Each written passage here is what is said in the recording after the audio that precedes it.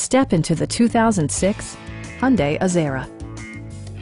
This four-door, five-passenger sedan has just over 80,000 miles.